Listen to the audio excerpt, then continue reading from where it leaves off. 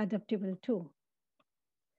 So now the fifth skills uh, a self-regulated person have, that is active listening and communication. So I have talked about active listening already.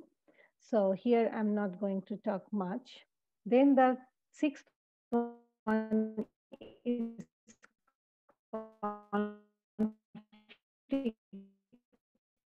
resolution.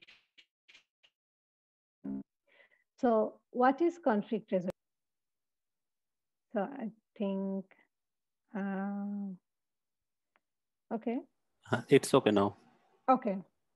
So, so then this conflict resolution, uh, definitely it's a, it's a skills.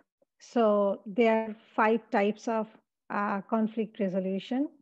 Uh, I'm not going to talk about it, but definitely a self-regulated person as he knows like himself and he knows like how to control first himself and then control others because if you want to manage others you need to manage yourself first. So a self-regulated person can only resolve conflicts because he or she can take the rational decision.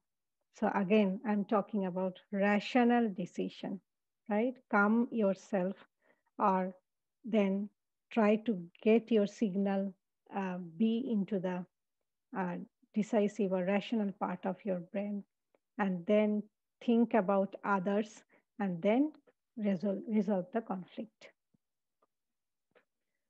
Now,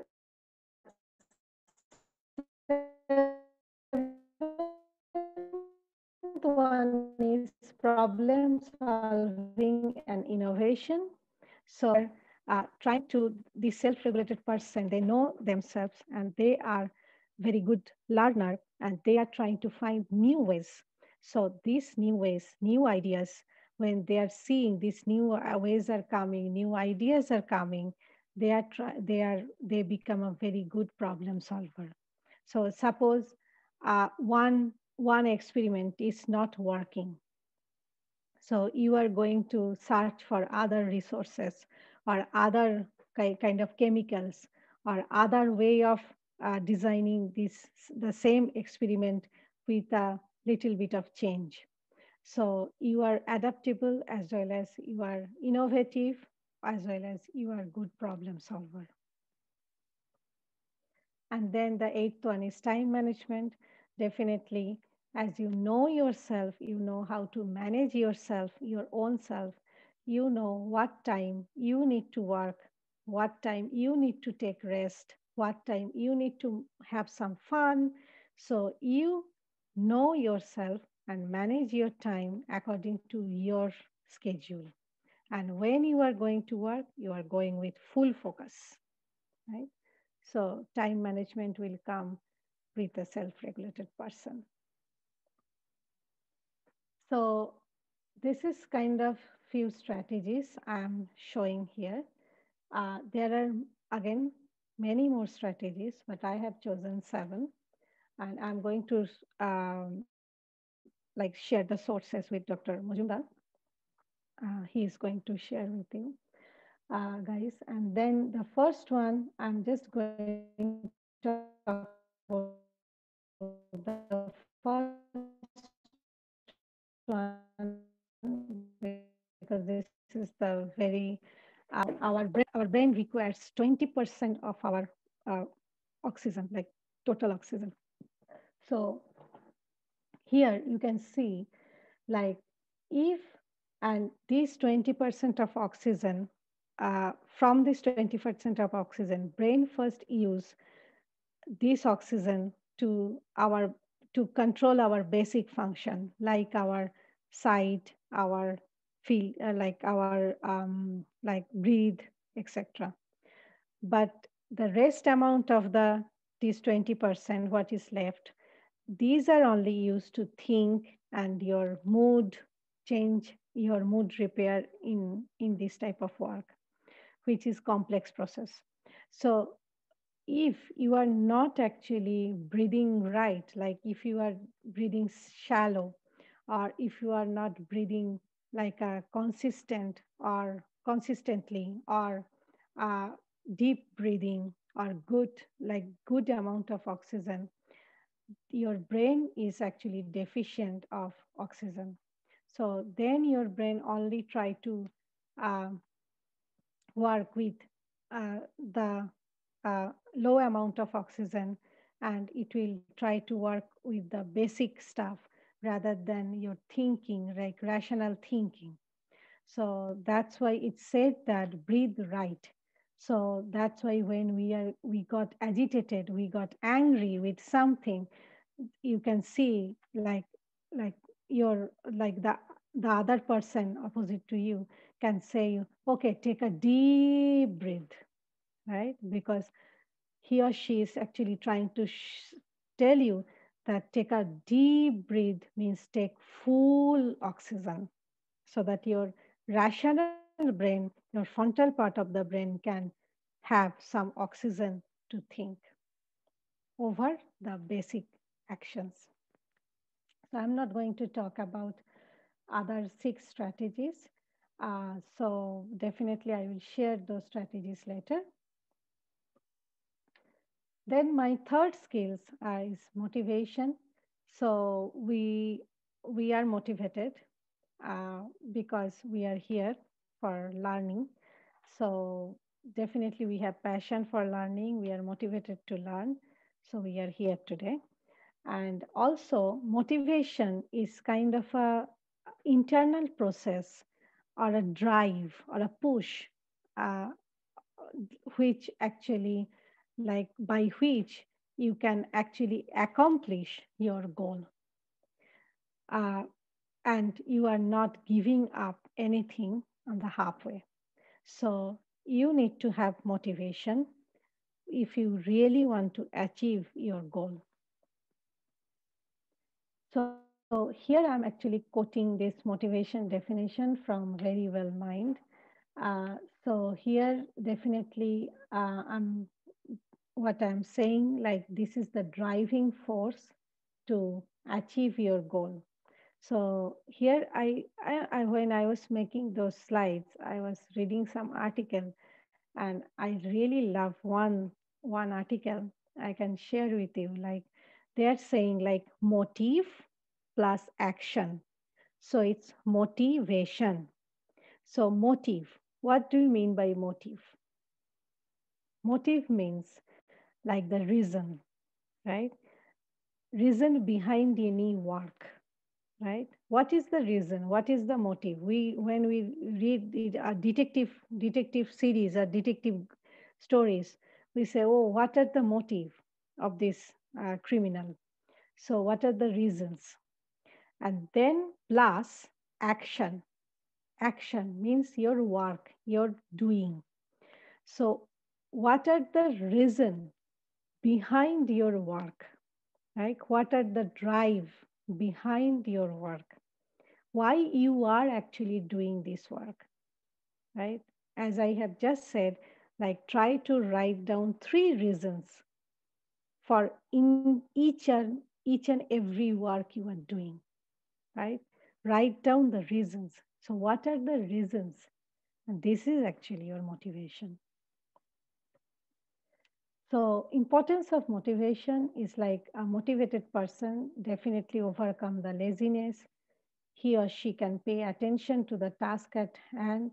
Then definitely they fight the procrastination to get started because if you are not motivated to do something, definitely you are just procrastinate this. You are just delaying uh, this work. Oh, I will do tomorrow, then tomorrow, then tomorrow. Tomorrow will never come right? That means you are not actually motivated to do this work. So if you are motivated, you don't procrastinate. Okay. So here I'm just showing like what are the consequences of being a motivated person. Like you enjoy your work, you perform task well, you strive to achieve goal, because you are motivated. So you are not procrastinating and you are actually doing the work. Then you motivate others because you know what? we are always saying our, to our students, like try to have a positive peer group because positive peer group means like everybody is motivated to one goal so if one person is motivated it's kind of a contagious motivation is contagious okay so one person is motivated like one person motivates other this person motivates other too. So this kind of a motivated group or motivated team. So motivate others and then when your employee or your boss or your supervisor or your teacher is seeing that you are motivated not only you are motivated you are motivating others to do or finish the work you naturally you will become a reliable worker or you also be the satisfied worker. And ultimately you can create a positive and productive work environment by a high level of motivation because you are not the only person who is motivated. You motivate others. So the whole team is motivated right? So the whole work environment is motivating motivated okay so as i have said like motivation so we all are different like from my last webinar i'm saying these things like we all are different so don't try to compare with anyone, first of all. And we all have different, different motivational factors.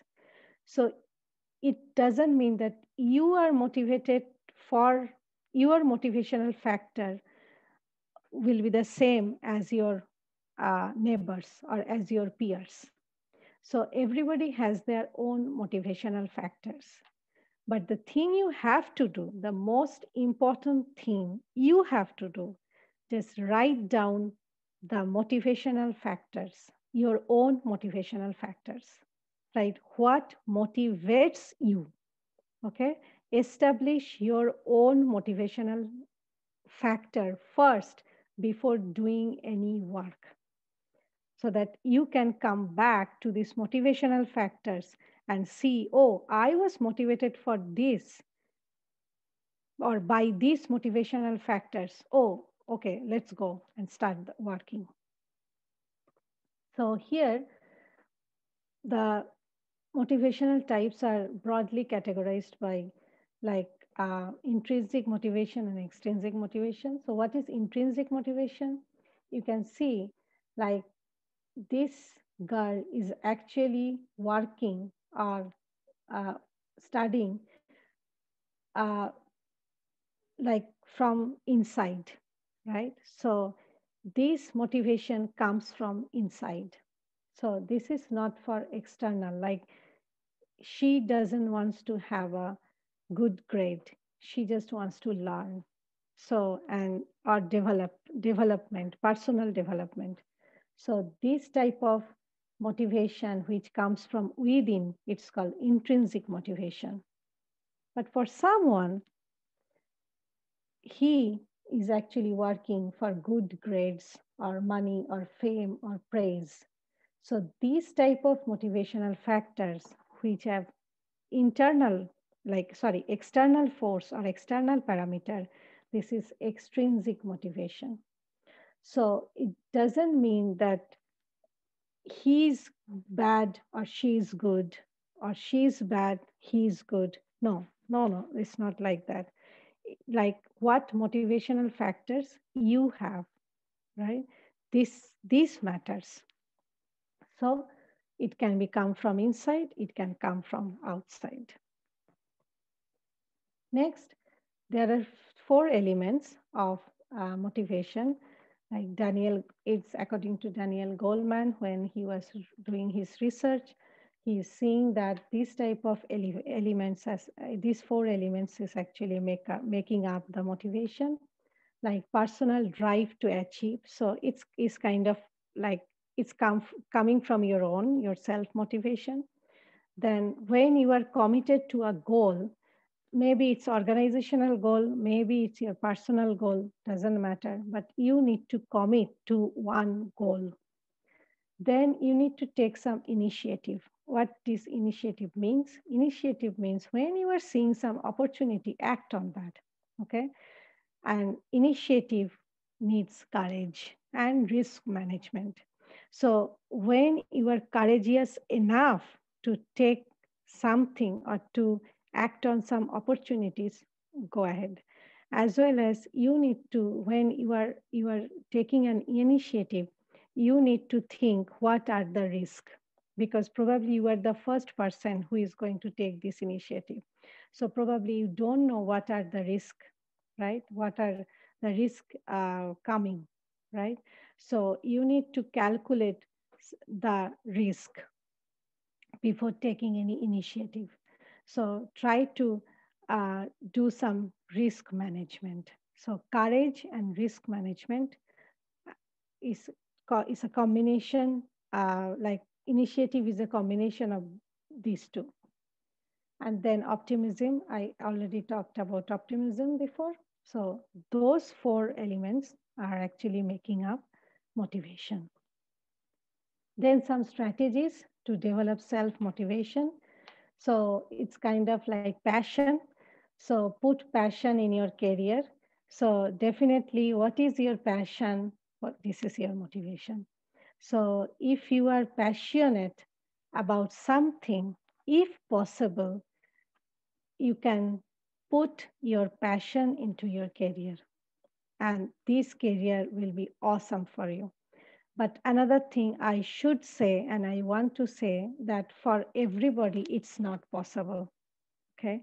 So everybody is not that uh, much uh, i can say i i can i'm i'm not believing i'm not a good believer of luck but i can say like it's an opportunity. Everybody uh, sometimes doesn't have the opportunity to work on their passion okay? So that's why i can say like whatever you are working try to enjoy okay? Because sometimes like some people can work with passion like can have a career with passion but sometimes uh, there are because career is a combination of multiple factors okay? Personal factors professional factors. So every time we cannot get that but we if we know ourselves we can work on that. We can work on our passion side by side. Okay. So then try to have a good routine as i have said during my time management skills like definitely try to have a good routine and then you can set your goals uh, because goals setting goal is a element is an element of motivation. Then definitely focus because focus is one thing you need to have and focus means uninterrupted focus okay? If you are working some on something focus on it pay your uninterrupted um, attention uh, so focus your whole energy on that task. If you want to have a if you want to take a break take a break after few minutes. If you just see my last webinar i i was showing like how to chunk your time how to block your time and how to take a break because because some person can uh, some people can work continuously some cannot work continuously. They need to take break. Both of them are right. Both strategies are working. But the main is main focus is focus. When you are working pay your full attention to that. Then what's your why? What that does mean it's kind of like know your reason that why you are doing this work so i have already talked about this reason like like how to write the reason three reasons you need to know behind each of your work at least and then talk to yourself that how these reasons are going to impact your life. So definitely motivation is the same thing know your why. And there is a very good video by simon sinek So Simon Sinek is nowadays a big figure because he has discovered or he has not discovered he has uh, shown a goal uh, a concept which is called golden circle. Okay? So he was sh- showing like he he has a very good ted talks. Okay? So in that ted talk uh, he has shown like how to fix your why how and what so, how to motivate yourself and how to reach your goal, how to achieve your goal. So, I is uh, his name is Simon Sinek. You can type on Google, and you can see uh, the why, like the uh, golden circle. Then the last one for self motivation or motivation strategy is do it now. Because as i have said procrastination procrastination can kill us basically right? So procrastination you need to fight procrastination you need to stop procrastinating. Because what you can see like sometimes we have very boring work all of us had to do bo- bo- boring work in our life uh, so definitely but we need to do that. Especially the for me like it's my personal thing but for me paperwork is the most boring work in my life. If you if you say ask me to study i can study for hours. But if you ask me to do some important paperwork i am procrastinating every time. So but now i know the strategies. So do it now means just start just just start doing this uh, like unpleasant work. And then you can see after a few minutes you are kind of still continuing uh, doing this work. So so just start. So just start. And i also talked about it in my last webinar. And then here I have gathered some strategies for motivating students because I know there are a few professors are here. So if if they want to see, uh, so there are some strategies for motivating students. And uh, I have taken those strategies from Vanderbilt University from Teaching and Learning Center. So this is kind of the strategies like get to know your students in at UCLA or in during my training. I have learned like try to uh, recognize your students by their name. So we say name need you need to know your student's name because you know what like this is kind of psychology. When you ask someone or address sorry I address someone by their name it's kind of like a happy trigger right? It's like they he or she will be very happy. So oh my god he or she knows my name right? So that's why always we ask at ucla like uh, on the very first day of our class we ask them uh, we ask them to make a name tent. So we gave them a paper and they just fold it in triangle shape and they write down their name.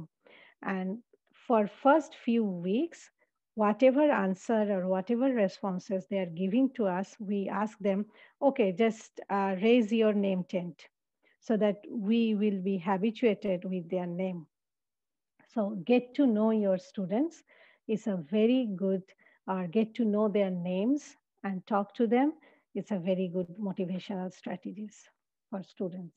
And there are few more strategies I have written here. So if someone wants to know more, uh, they can come to this uh, slide later. Okay,